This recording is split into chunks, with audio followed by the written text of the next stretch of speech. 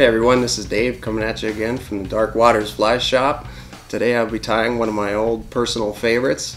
This is one fly that every every old timer from the UP loves and talks about, um, and it is the Royal Coachman Streamer. This is a pattern that I have used extensively for the brook trout in the area. It's one like I said, one of my all-time favorites, but I like to modify it a little bit with some some modern new materials and techniques. Um, I use some UV glue, some eyes, a little bit of fuchsia, floral fiber. Um, if you know me at all and have seen my flies, I use a lot of fuchsia um, materials. Seth kind of teases me about that, but it just works. So um, purple and fuchsia are my are my go-to colors for the brook trout in this area. I fish this. It's it's an unweighted fly, other than a little bit of wire for the rib. Um, so it is very light. It stays pretty close to the top of the surface. Um, this this pattern, I like to do a, a twitching hand hand twisting retrieve, sometimes small strips, but it it like I said, it just works. And I will uh, with that, I'll kind of show you guys what to do.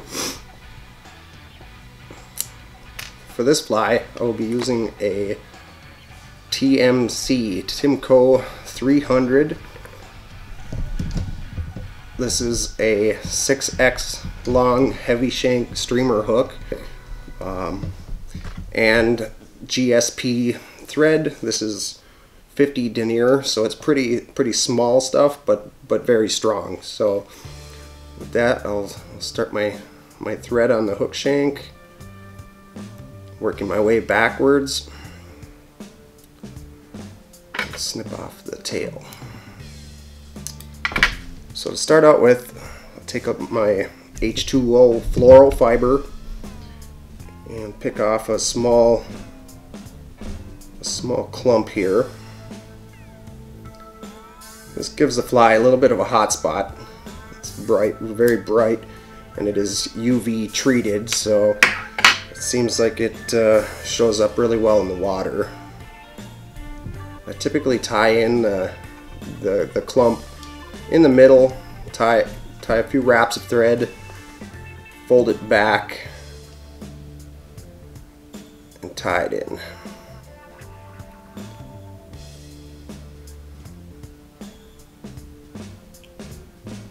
Okay, take that, cut it off pretty short. Nice little clump there. And this fly also has a reinforcing wire. This is, this is just ultra wire, Brassie sized uh, chartreuse color. So I will also tie that, that in at this time. That in towards the towards the back of the hook again. This later on will be wrapped forward to lock in all the peacock and everything that you're going to use wrap that away out of my way for the time being. And then select some Peacock Herl, this is. I like to use a nice little clump here. Uh, probably, let's find a good, good chunk here.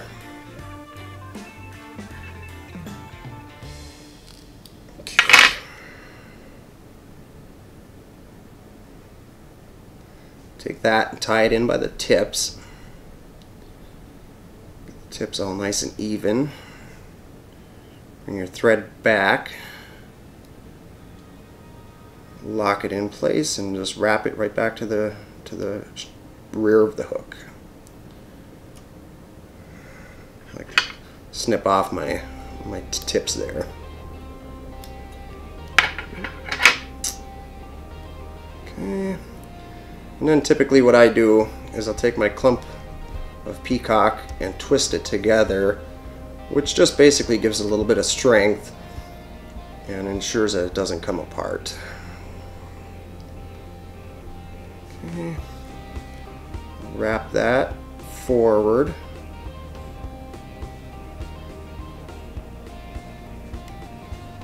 Nice little fuzzy body on there.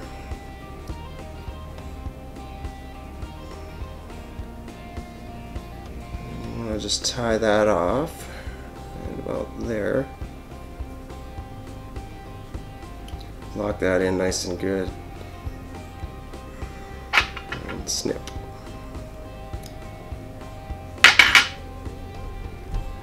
Okay. At this point, I'm gonna typically with a with the traditional Royal Coachman pattern, you'd be using red red floss for this section. Um, I will be using this is Orvis brand, but it's just fuchsia um, holographic tinsel, kind of a little new school twist on a, on a traditional pattern.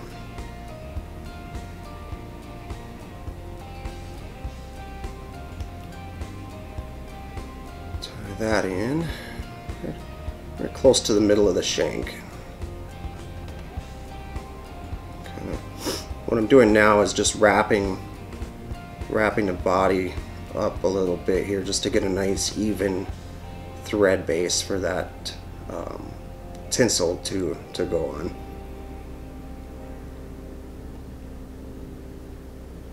Okay. And once I have, have the body um, fairly smooth and, and out, I'll go ahead and uh, start wrapping that, that tinsel forward. A lot of times what I'll do is take a little bit of of glue at this point and just dab that on there.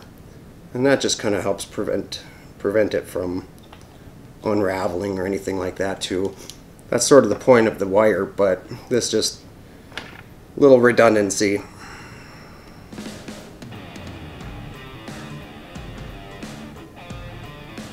Take and wrap wrap my tinsel forward and then once I have it to about where I'm satisfied with it, then I'll actually go backwards. Just making sure that I didn't miss miss any spots or any gaps or anything like that. And then forward. So you want to give yourself plenty of material so you don't end up running out right towards the end that's never never fun. Moving forward to you get it right about where you want it. This is a, a pretty long shank hook. Like I said, a 6x shank hook, so it is it is a longer one. Typically, streamer hooks are, are usually about 4x long. This is a 6, so it's definitely a little longer than your standard, but but I really like these long shank hooks for these hair wing and traditional style patterns. It just gives them a nice, nice look to them when they're when they're finished. At this point, take myself another another clump about the same size as, as what I used in the rear half of the, of the, of the shank.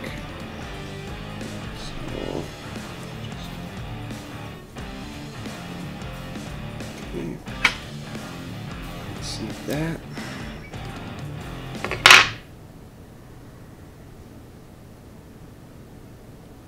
Again, you want to tie that in by the tips. Pretty careful to so you don't break any of it. Sometimes it can be a little bit fragile, but it's kind of the idea of using a, a clump of it as opposed to just as opposed to just one or two fibers.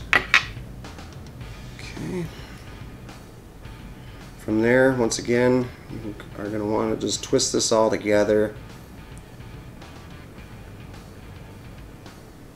Again, just, just add strength. It just acts as one single fiber when it's all twisted together. So that gives a little bit, a little bit stronger than it ordinarily would would be. As a note, sometimes I use synthetic um, material for the for the same purpose. Um, but this one is I'm just using the natural peacock herl okay, tie that tie that in lock it in good.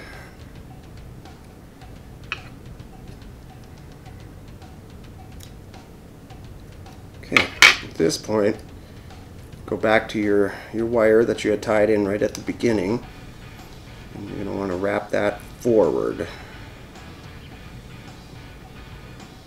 And this prevents the peacock from coming unraveled after it catches, you know, after you catch a couple fish, those little little teeth have a tendency to pull this stuff apart pretty quick. So this reinforcing wire just helps to, to you know, to prevent it from coming apart after after one or two fish. So just a, a durability thing, and and I like to use the chartreuse just because it gives a little little flash to it.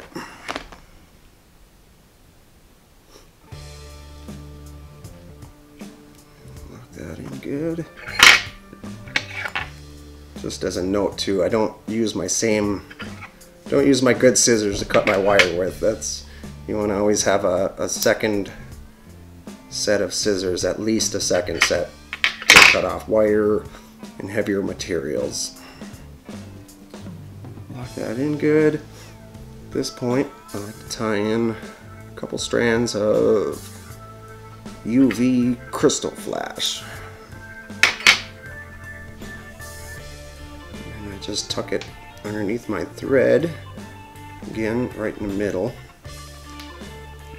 A couple wraps, and then fold it back.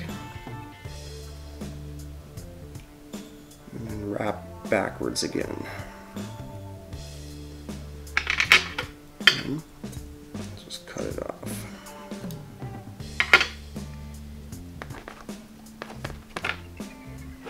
Okay, at this point, I'm using, for the white, I have a two-tone um, hair wing, so another kind of modern modern twist on it is the use of faux bucktail. This stuff is very similar to the real thing, kind of a little bit crinkly, even like natural bucktail. But it's all, the nice thing is, is it's all uniform, uniform length, all the tips are even, so no, you know, no having to stack it and all that extra steps, so it's a nice, nice product to use sometimes.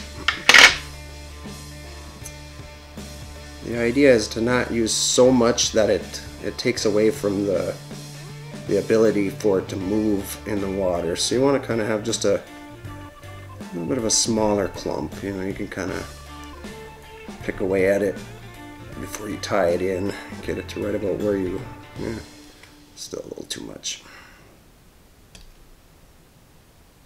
Okay.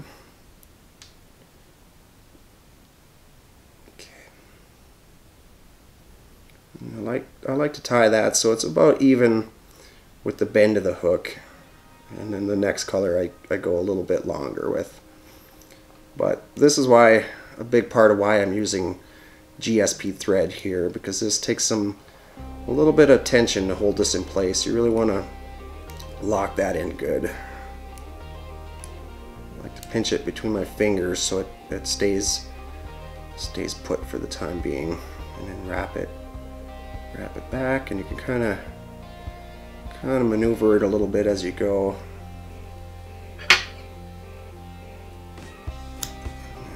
I like to when I when I snip this off I like to taper it just a little bit so it so it uh, is easier to, to tie my my head. Whereas if you cut it off perfectly straight it makes a little bit of a, a little bit of a step there and it makes it a little more difficult to tie in um, your finished finished head there. So it's just just something that makes makes it finishing it off a little bit easier. And then use again fuchsia bucktail. This um, this you can either you can use your an actual hackle stacker or or hair stacker I should say um, or for the sake of expediency, I'm just gonna do it by hand. Hand stacking, it's called. So you take out any long stragglers and then hold it by the tip. Pull off any, any short ones. Just a nice little little clump of that.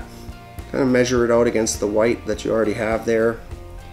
And as I said before, I like to tie it in just a little bit longer than than the white full bucktail. start with a couple of loose wraps just to just to position it where I want it and then I subsequently tie it in a little bit tighter each time until I'm pretty satisfied that I have it right about where I want it there. Excuse me.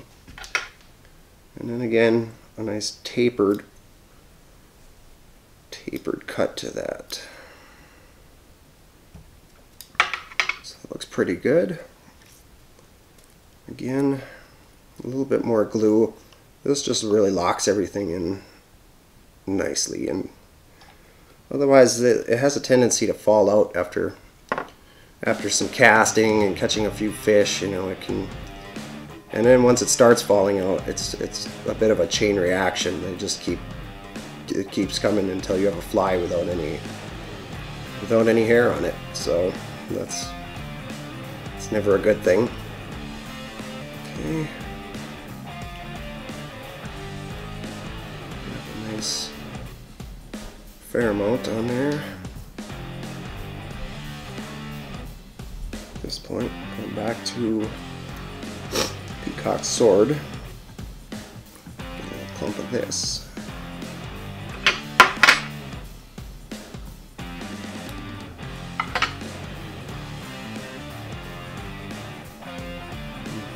Going to flip this upside down in the vise measure it off against the hook. Pinch it in. light wrap just to position it. And then lock it in.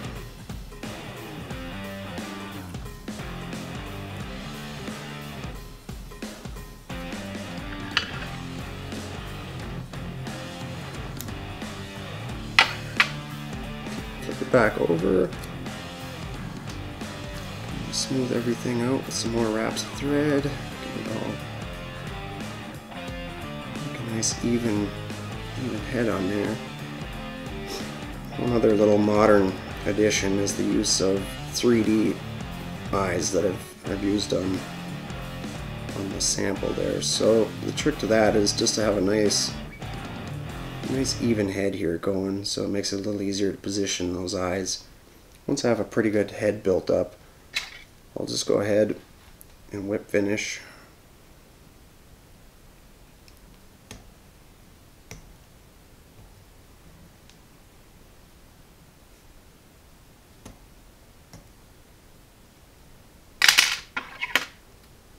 And snip that off. Okay, from here, you're going to want to get your UV glue out. This, uh, this particular one is uh, Deer Creek tack-free UV glue. This, um, I've been using this one for a while now, and that's kind of kind of one that I I like. I've used several brands, and this is kind of one that seems to work out pretty good for me. I definitely like that it's tack-free, so it doesn't really really require an application of a of a head cement over the top of it. Take my take my eyes here start to run on me.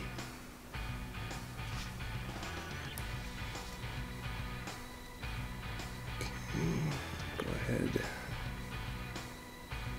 Position that eye where I want it. UV.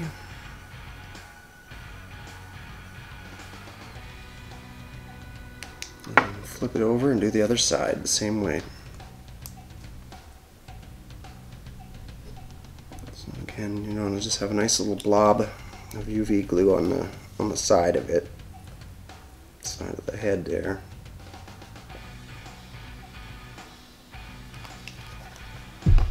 Just enough to get it uh, get it stuck in place for the time being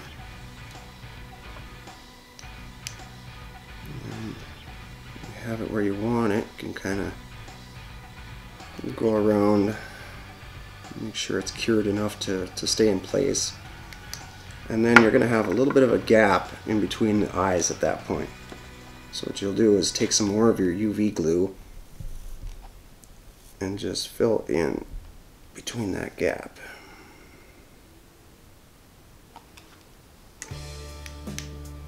And you're going to want to do that to the top and to the bottom.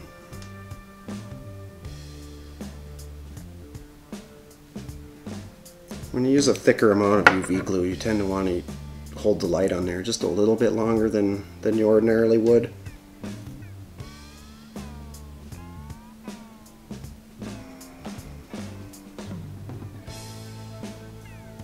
The great part about UV glue is you just have all the, as long as you're not tying your fly out in the sunlight, you have all the time in the world to work with it and it's not going to harden on you until you hit the light on it.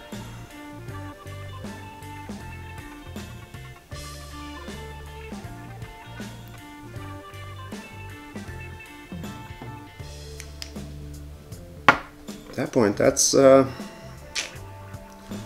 that is a finished fly. So this is my UP Yooper Royal Coachman Streamer. Um, one of my favorite all-time brook trout patterns. Um, has just seems to work well um, pretty much all year round. It's you know it, it uh, brook trout especially love it. I've caught some browns on it, but but in particular the brookies really really seem to love this color combination. Um, it's a long, long time favorite of a lot of the residents and old timer fly fishermen around here. Uh, you know, and it, it's one of those patterns that's kind of quickly giving way to some of the more trendier, more more modern patterns, but it still works just as well as it ever did, and it's fun to fun to modify. Um, so at that, this is. Uh, yeah, so this is one of my favorite flies. My name is Dave. Um, if you like more of the trout tying, fly tying videos, feel free to drop a comment in the section below. And thank you very much.